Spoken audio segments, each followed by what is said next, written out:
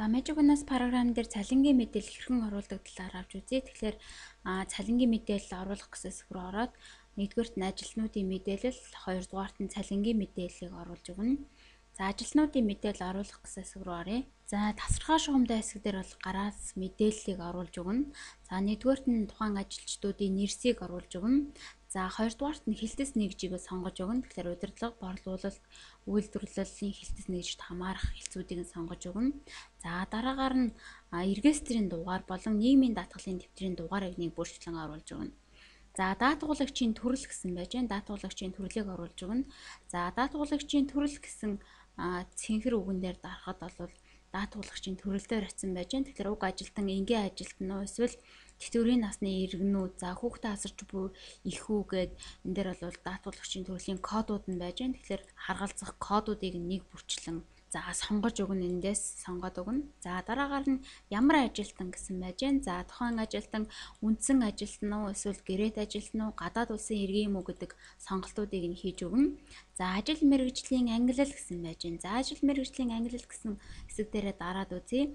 Тэгэхээр тухайн ажилчдыг ажил мэргэжлэр нэг бүрчлэн ангилаад кодлсон байж байгаа. За жишээлбэл хууль тогтоогч удирдах албан тушаалсан 111 кодтай захирал гүйцэтгэх захирал бол 112 кодтой гих мэтчлэн бүх англи ажил мэргэжлийн англиг нь кодлсон байж байгаа. Тэгэхээр уг кодуудыг нэг бүрчлэн оруулаад өгнө. За тэгээд тухайн ажилтны холбоо барих хүчний дугаар болон мэйл хаягуудыг оруулаад өгнө. Тэгэхээр мэдээллүүдийг оруулж өгснээ дараагаар F5 баган дээр хяналт гэсэн хэсэг дээр ямар нэгэн алдаа байхгүй шүүлт зөв болсон байж байна. За үүний дараагаар бид цалингийн мэдээллийг оруулж өгнө. Цалингийн мэдээлэл гэсэн хэсэг дээр дараад цалингийн мэдээллийг оруулъя.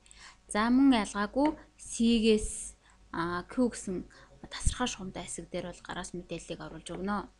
За нэгдүгээрт нь сарыг тухайн хэдэн сарын цалин бодож байгаа бай сарыг нэг бүрчлэн сонгоод өгнө. За ажилчдын нэрсийг нь оруулж өгнө. За ажилчдын нэрсээр ажилтнуудын мэдээллийг оруулж өгсөн учраас ажилчдын нэрсийг нэг бүрчлэн сонгож оруулах боломжтой. За үүний дараагаар ямар ажилтан бэ гэсэн байна. За тухайн ажилтныг оруулж өгнө. За тухайн ажилтан нэрэн 7.8 11 юм уу эсвэл хөдөлмөрийн чадвараа 50-аас 100% алдсан уу? За тэтгэврийн насны иргэнүү гэсэн сонголтуудыг нэг бүрчлэн эндээс сонгоод оруулаад өгнө. За үүний дараагаар албан тушаалыг оруулж өгч болно. За илүү цаг гэсэн байж гэн. Тэгэхээр илүү цаг бодох хэсэг гэсэн хэсэг дээр дарахаар үгүй болон 1.5 2 гэсэн нэмэлтүүд байж байна. Тэгэхээр илүү цаг бодохгүй бол заавал үгүй гэсэн сонголтыг сонгож өгнө. За 1.5 дахин нэмэгдүүлэх бол 1.5 дахин баяр ёслол олон нийтийн амрах хэвээр өдрөөр ажилласан бол 2 гэсэн сонголтуудыг тус тус сонгож өгөх нэ.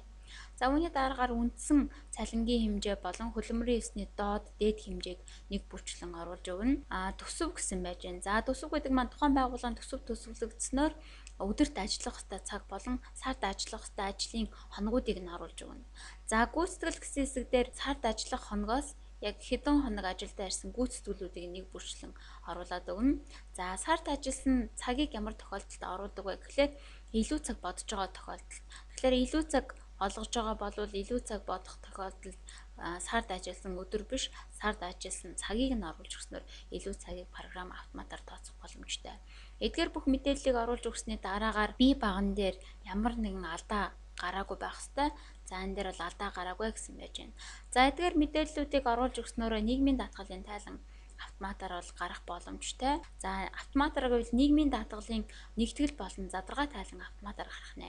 За нийгмийн даатгалын нэгтгэл тайлан харъя. Тэгэхээр би 3 сарын цалин оруулж өгсөн учраас 3 сар гэсэн сонголтыг нь оруулаад өгье. За 3 сарын нийгмийн даатгалын шимтгэлийн нэгтгэл тайлан бол гарч ирсэн байж гэн. За энэ дээр бол тухайн ажилчдын маань тоо байж гэн. За тэгэхээр төлөх ёстой төлбөр нийт төлөвлөл зохих дүн болон үүнээс төлсөн дүнгийн дүн маань бол орж ирсэн байж байна. За дараагийн хэсэг дээр бол шимтгэлийн илүү дутуу үлдэгдэл орж ирсэн. За нийгмийн даатгалын задрагаа тайланг нь орж харъя. За мөн хэдэн сарын задрагаа тайлан харах вэ гэсэн байж байна. 3 сарыг дуудаад өгье. За нэгтгэл тайлангийн маань задрагаа гарч ирсэн байж байна. Тэгэхээр ажилтнуудын мэдээллийг нэг бүрчлэн оруулж өгснөөр нийгмийн даатгалын задрагаа тайлан гарах боломжтой. Тэгэхээр задрагаа тайлан дээр ажилчдын нэрс, регистрийн дугаар, нийгмийн даатгалын дугаар, даатгуулагчийн төрөл, за нийт цалингийн хэмжээ бол ороод тухайн ажил мэргэжлийн код болон холбоо барих утасны дугаар мэйл хаягуудыг бүрчлээ орж ирсэн байна.